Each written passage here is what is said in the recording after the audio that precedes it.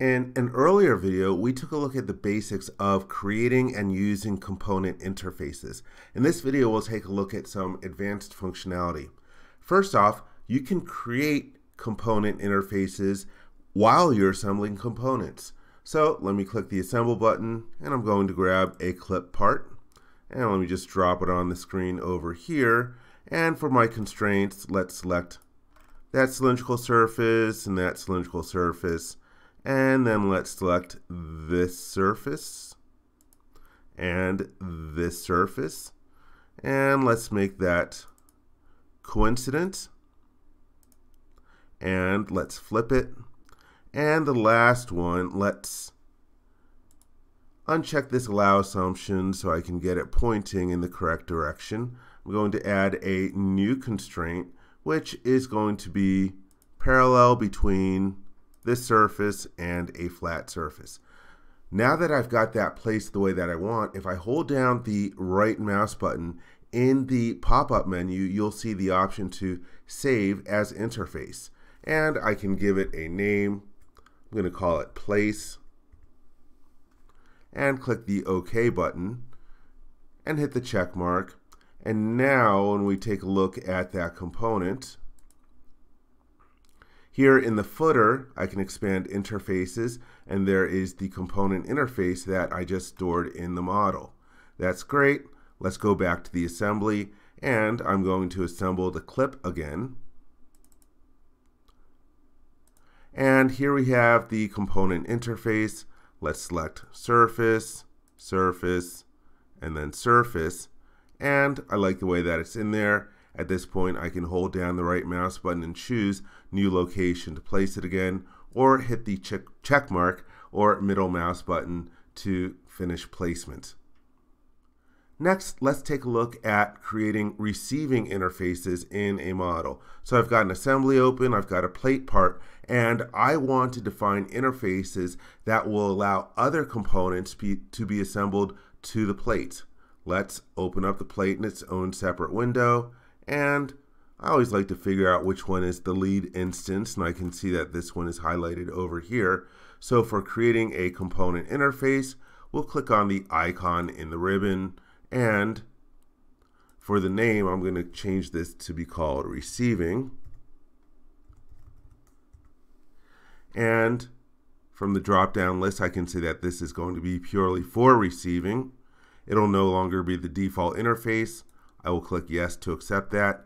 And for the constraints, we'll use a cylindrical surface and this flat surface, then hit the check mark. And if you take a look at the model tree, when you create receiving interfaces, for some reason they end up in the main body of the model tree. But if you want, you can right click and move it to the footer.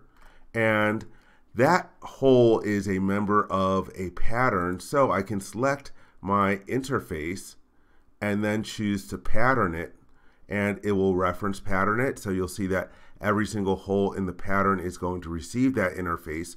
You can click on any of the preview dots if for some reason you didn't want certain ones of those holes to receive the component interface, but I'm happy with that. So I will hit the check mark and we've got our plate with the pattern of component interfaces. Let's go back. Here I have a bolt that I'm going to assemble into it and it's got a couple of component interfaces for placing it. So now I'm back to the assembly. Let's hit the assemble button to assemble that bolt.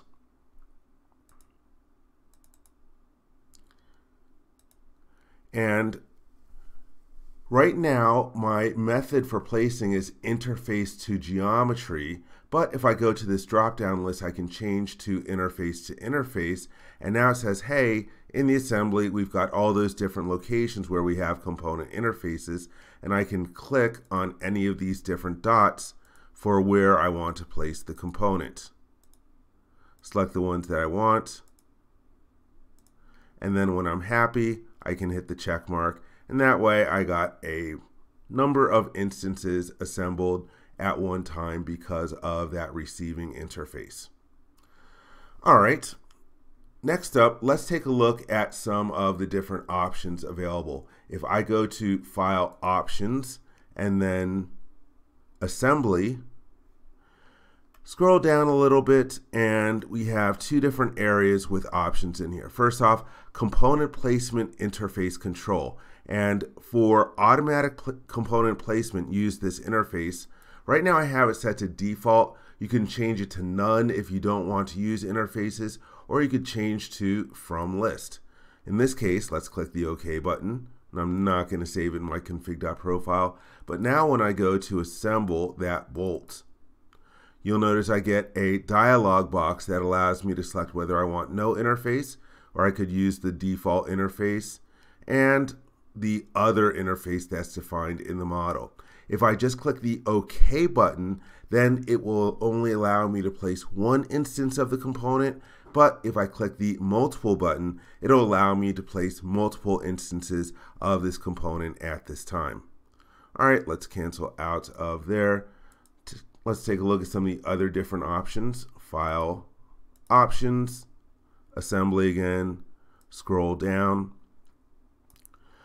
There's also this option to create temporary interfaces when you are placing a component. In other words, the first time that you assemble a component during your session of Creo Parametric, it's going to remember how you assembled that component and it's going to allow you to use those same constraints over and over again in that session of Creo Parametric.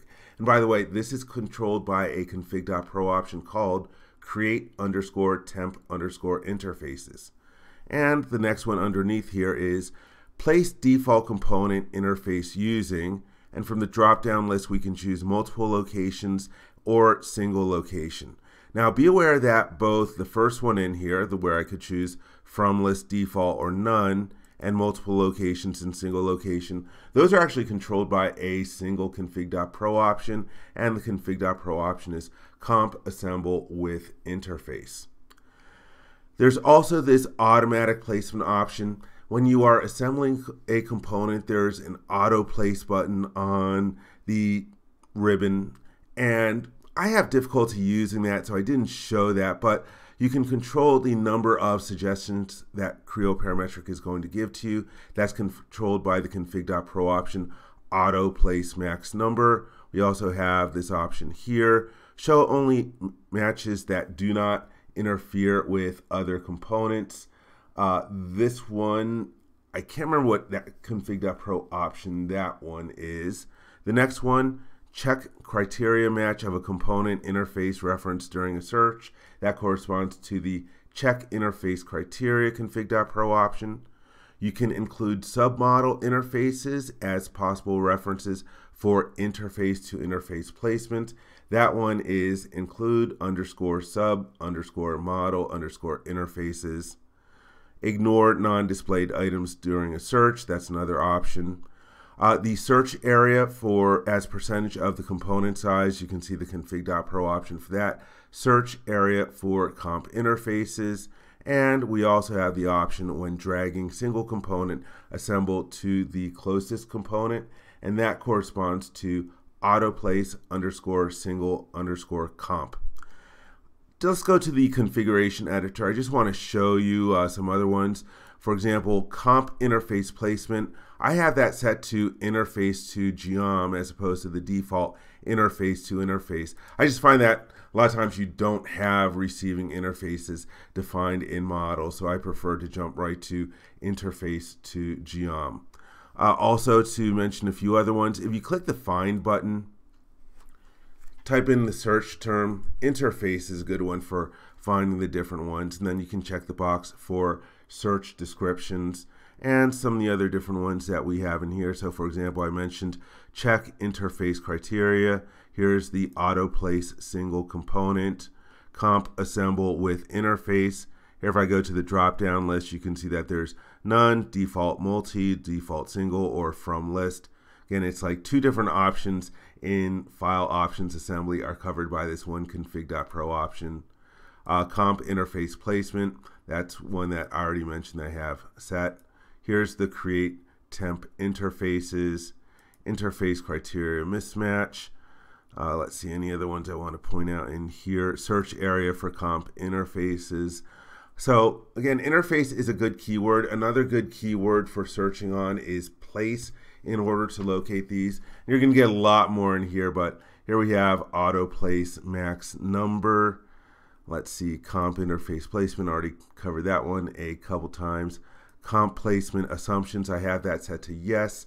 Uh, that way, if uh, you are assembling a component with the interface by default, it'll check the box to allow assumptions. And let's see, again, just there are a lot of different options in here, but here's include submodel interfaces as well. And search area for comp interfaces. So again, there's a bunch of different config pro options that control how your component interfaces are used during your session. And they will also control, for example, when you're assembling a component. Let me just show that. When I click the assemble button, and then grab, let me just grab this part over here. Over on the options tab, we have another uh, other different options. It'll control the default setting for whether these are checked or not. But again, during the assembly process, you can turn these on or off depending on how you want Creo Parametric to behave. I hope you enjoyed this video. For more information, please visit www.creowindchill.com. If you learned something during this video, please give it a thumbs up. And if you like this video, please click the subscribe button to be informed when new videos are uploaded. Thank you very much.